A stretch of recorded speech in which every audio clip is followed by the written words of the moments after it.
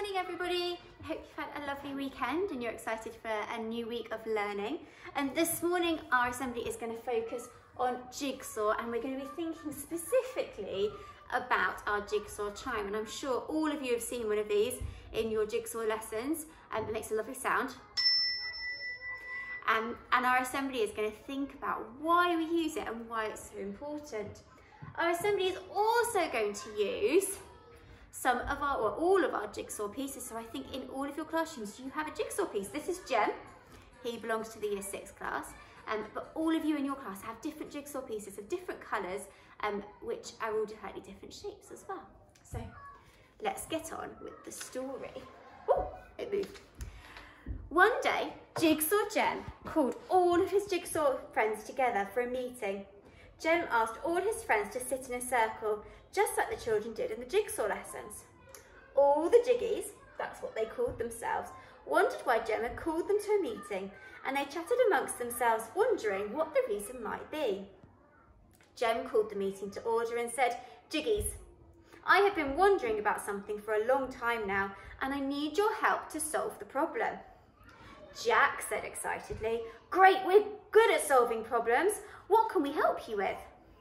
Well, replied Jem, I've been thinking about the jigsaw chime the children use in their lessons. There is something more we could be doing with it in calm me time, but I can't quite work out what that might be. All the jiggies looked very puzzled. They didn't know what Jem was trying to say. Jaz spoke up. We're not sure what you mean, Jem. All the children seem to like Calm Me Time and the jigsaw chime. What more is there? Jenie said, Before we carry on with the meeting, can I ask a question? All the jiggies nodded and Jenie continued. As you know, I learn with the youngest children in the school, and if I'm honest, I'm not sure why we use the chime at all. Jem asked the Jiggies if they could answer Jenie's question. They chatted to each other to try and find the answer.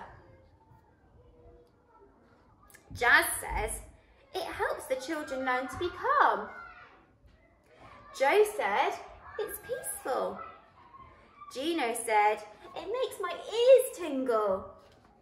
Jenie thanked them for their answers but said, yes, I know that. But why do we use the chime and do calm me time?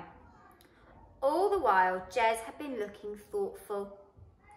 I think I know what you're asking, Jenie. Can I ask you a question? Jenie nodded and Jez spoke. Imagine that Jack had promised to play with you at break time, but he doesn't show up and you have to spend break time on your own. What would you think? Jenie replied, Well, I'd be very surprised keeps a promise, so I might be a little bit worried that he hadn't met me like he said he would. Jez said to the other Jiggies what, would they, what might they think had happened if Jack didn't show up for them.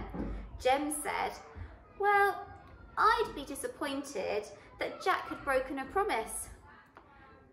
Okay, said Jem. So how might that make you feel? Jenie explained about feeling scared that something might have happened to Jack, and Jem explained about maybe feeling grumpy with Jack.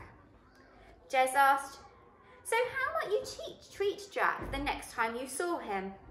Jem replied, I'd be a bit off with him, I think. I don't like it when people break their promises. Jack suddenly started jumping up and down to get the Jiggy's attention. Hold on a minute, this doesn't seem very fair, he exclaimed. I might have a real reason why I couldn't have played with Jenie. It would be unfair of you, Jem, if you got cross with me. Perhaps I decided to stay and help someone with their learning, or maybe I accidentally forgot. Jez suddenly jumped in, did a little jig and said, and that's why we have calm me time. Do you get it? All the Jiggies looked even more confused than ever and shrugged their shoulders. Jez explained, when we use the charm, it helps us to relax our bodies and our minds. We can use our breathing sometimes to help calm us down too. Sometimes we get thoughts in our head that make us feel worried or cross or angry or sad. Sometimes these thoughts get so big that they make us behave in very unhelpful ways. So if we can put a pause on our thoughts and feelings, we can stop that and think before we behave in a way that isn't helpful. If Jen was feeling cross with Jack, he might fall out with him, even though it wasn't really Jack's fault that he didn't show up. And Jenie might be worried about Jack for no reason either.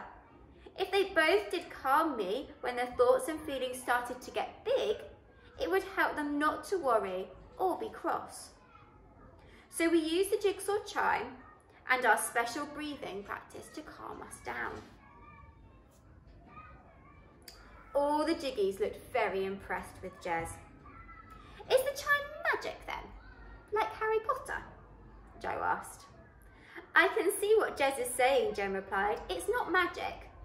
But our brains are so clever and good at learning that, the chime teaches our brains to help us get become calm and stay calm. If we practice calm time enough, our brains start calming down without us even realising every time our thoughts or feelings get too big. Oh, I get it now, nodded Jo. So we don't always need a, time to, a chime to practice calm time. Sometimes we can just imagine the chime or a calm picture. Or start slowing our breathing and down so our brains take over and calm down. And that really is a little bit like magic, isn't it? Jen said, and that's what I was trying to say right at the start of the meeting. I said there was something we're not doing at Calm Me Time.